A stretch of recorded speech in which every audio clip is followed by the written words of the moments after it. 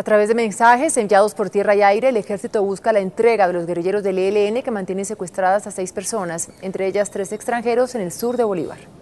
Sabemos exactamente dónde están. Liberlos. Les ofrecemos que le enviamos al 6R, porque no queremos hacer ninguna operación que ponga en peligro la vida de los secuestrados.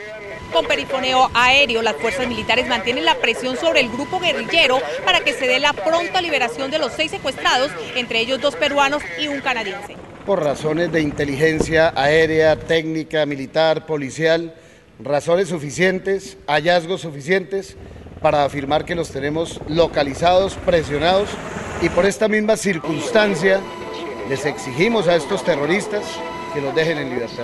El cerco militar se mantiene por tierra y aire en una montañosa zona de esa región donde las fuerzas militares aseguran se encuentra el grupo de secuestrados.